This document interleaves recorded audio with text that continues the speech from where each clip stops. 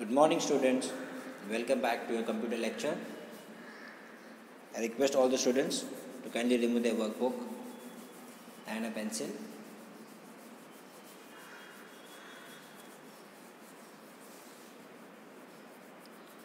In the last chapter, we studied about the evolution of computers. Right? We saw what was the hierarchy or the invention, when did it begin, the history about computers, the evolution, like abacus, Pascaline. Right? Then we learned about the generations, first, fifth, second, third, fourth, fifth generations.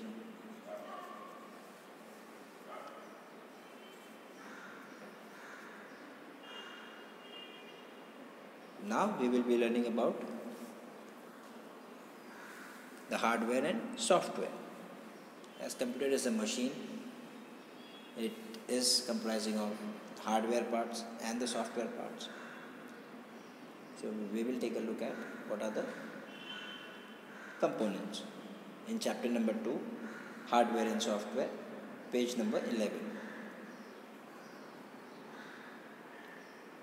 let's quickly be ready with with the chapter.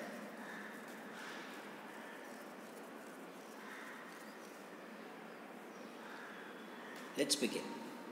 Chapter 2 hardware and software. A computer is an electronic device that is used to store and organize data. You can also use it to find information using the internet.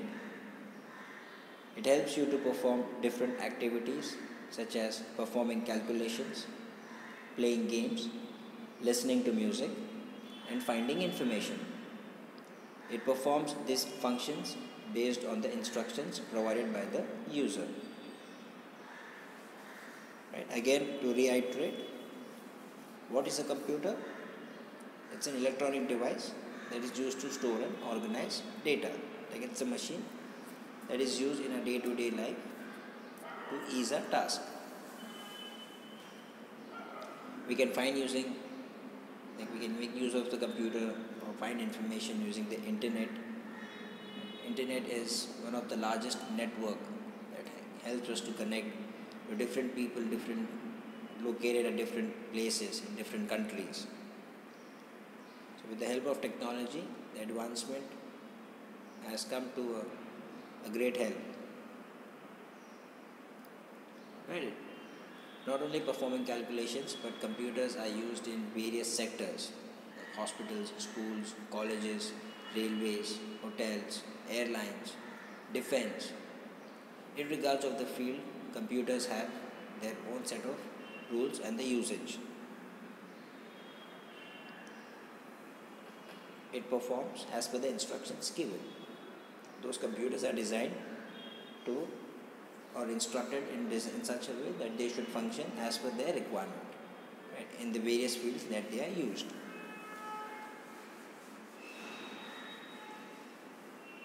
Reading further, when you provide an input to the computer, it processes the input and provides you the required output. The output can be displayed on the monitor or printed using a printer. All these tasks can be performed due to various parts of the computer. These parts form the hardware and software components of the computer.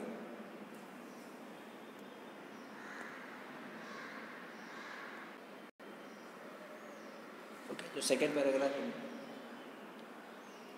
explains that when you provide an input to the computer, it will definitely do something in the background.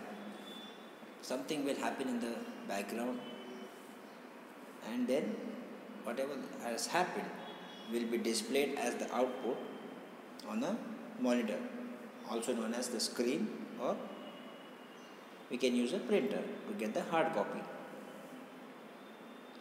so all these various tasks that are performed we definitely require a hardware and a device to perform that task and that device needs a software which comprises of the instructions and the way it should, the way the device should process or function.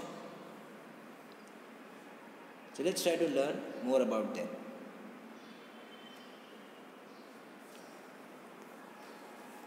Hardware. We'll begin with the hardware. Hardware is the physical part of the computer and includes devices such as CPU, mouse, keyboard, printer and monitor. These devices form the input device, output devices, storage devices and processing devices. They are useful for entering information into a computer, storing the information, processing the information and viewing the output on a computer. So what is a hardware students? It says hardware is a physical part that we can touch with our hands or physically see with our eyes. So those are the devices which are known as the hardware, like hard components. These devices are the CPU. I'm sure CPU, you all must be aware what does it stands for? Right, Central Processing Unit. Then we have mouse, keyboard, printer and monitor. These are the various devices that we see. Now, amongst these devices, or these devices are divided into input devices, output devices, storage devices and processing devices. Right. And all these have their own functionality or the usage. They are used for these devices like hardware, then followed by, let's take a look at the picture below. Hardware is further classified as input devices, output devices, secondary storage devices and processing devices. I request students to kindly draw this diagram in their notebook and also you may see I have underlined few words just to show you an example. I have underlined few words. I request you all to write these words in your notebook.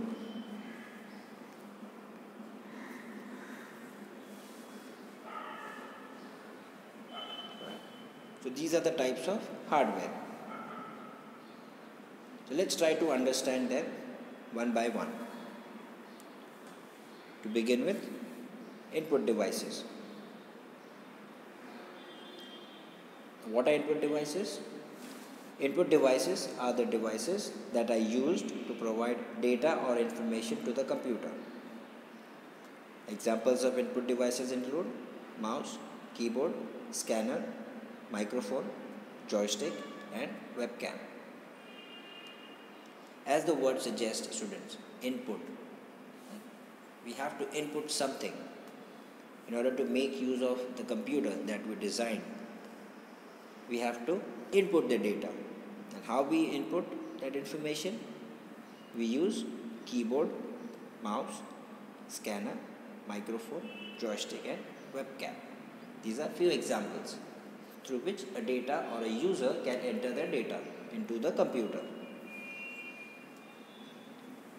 The basic one, let's see further. Mouse. A mouse is an input device that is used to provide data or information to a computer. A mouse has two buttons, left button and right button, along with a scroll wheel, which is used to move up and down a page.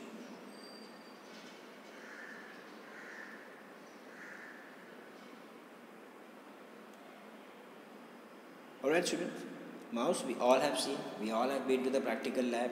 We all have have hands-on experience the usage of the mouse.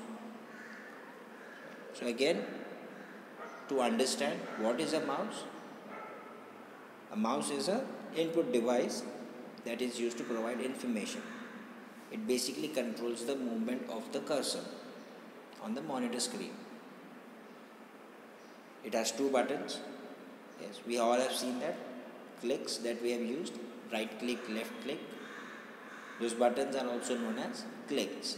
Like left button right button. And in the center you have a wheel which is known as the scroll wheel or the mouse wheel which is used to move up and down a page like a scroll. Next input device is a keyboard A keyboard is an input device that is used to type data or information into a computer. A keyboard consists of different types of keys which are used for typing alphabets, numbers, special characters, special functions and symbols. I'm sure we all have used the keyboard as well to type in the data or any, for any other purpose like text, characters, numbers.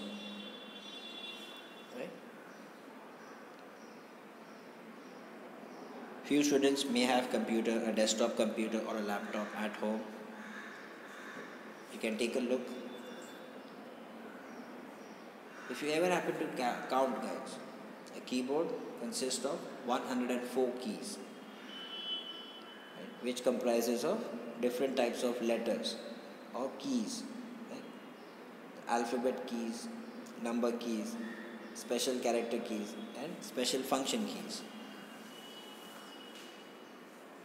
let's take a look at the keyboard an example of a keyboard.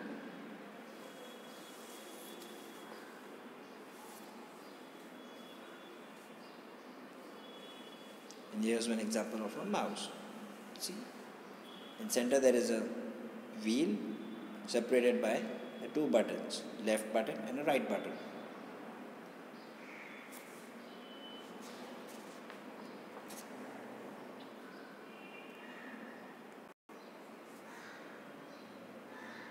I'm sure once our school starts regularly, hopefully, as per the government guidelines, and once we have the practical sessions, we can do a refresher and understand in details. So next time, this is we all have experienced this. We all have done them done in practice. What we are trying to do is to understand those terms and terminologies in the computer language. So let's take a look at one more example.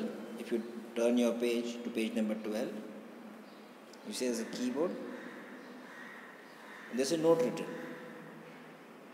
There are different types of computer keyboards. The original PC keyboard contains 84 keys. The AT, AT keyboard also contains 84 keys and the enhanced keyboard with 104 keys. See, like I told you, the keyboard for today's generation or the keyboard that we see in today's day to day life contains 104 keys. However, in the original PC keyboard contained 84 keys.